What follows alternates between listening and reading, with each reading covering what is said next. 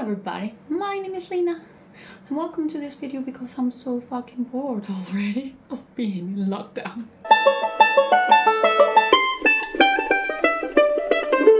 We can only get out of our house to go to the grocery store or to the hospital, so things are kind of serious here, but just to brighten things up, I think that I have told you already that this is only my TBR shelf.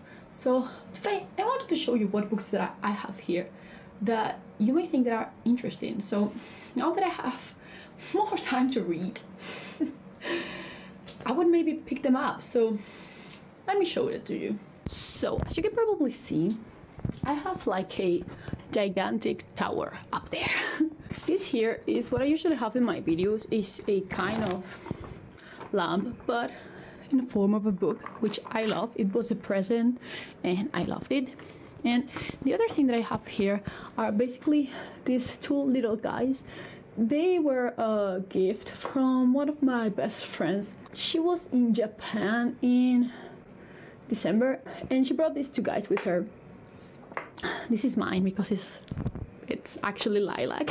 what you basically do with this is that you paint their left eye and you ask for a wish. So when the wish is basically complete, you will paint their other eye and toss them into the fire.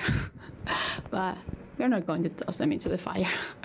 They're so cute. So let's get to the books now. We have Rebecca by Daphne du Maurier, Half a King by Joe Abercrombie, La Saga de la Ciudad Sangre by Jorge Cuadra Perez.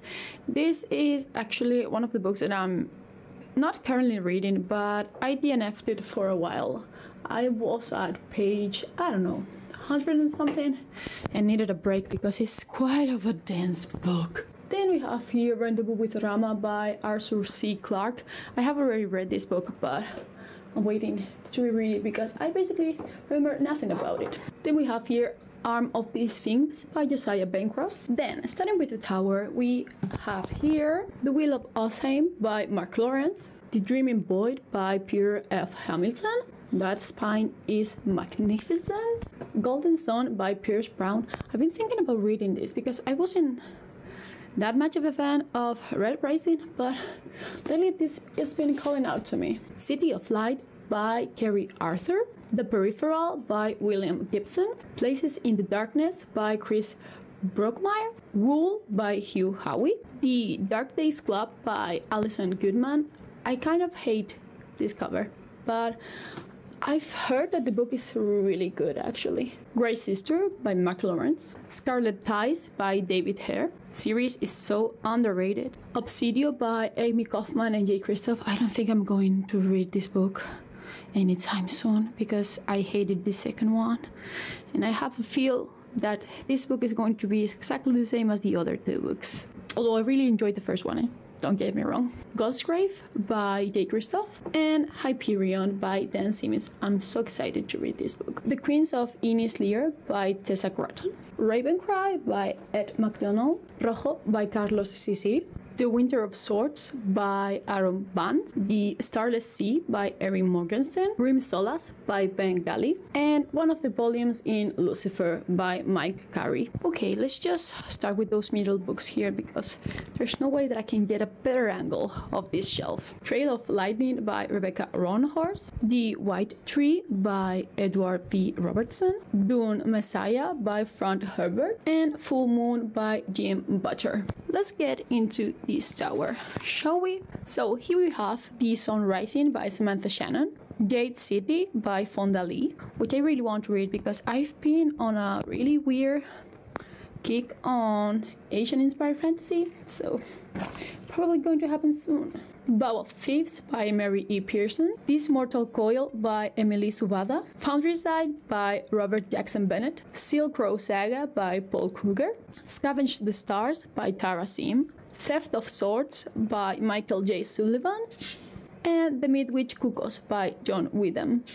The Library at Mount Char, The Fireman by Joe Hill, A Memory Called Empire by Arkady Martine, The Last Mortal Bond by Brian Staveley, Hunting Prince Dracula by Kerri Maniscalco, El Factor Sobrenatural by Edgar Cantero, The Waking Fire by Anthony Ryan, Just One Damn Thing After Another by Jodi Taylor, Prince of Thorns by Mark Lawrence, The Three Body Problems by Cixin Liu. Just as in the previous one, let me show you those books that are on the middle first. The Thousand Names by Django Wexler, The Knife of Never Letting Go by Patrick Ness, Wrath of Empire by Brian McClellan, and The Familiar by Mark Z. Danielewski. The Immortal Rules by Julie Kagawa, this is the same author as The Shadow of the Fox, by the way. Revelation Space by Alastair Reynolds. The Last Argument of Kings by Joe Abercrombie. The Fold by Peter Clines. Shadow Black by Sebastian de Castell with its beautiful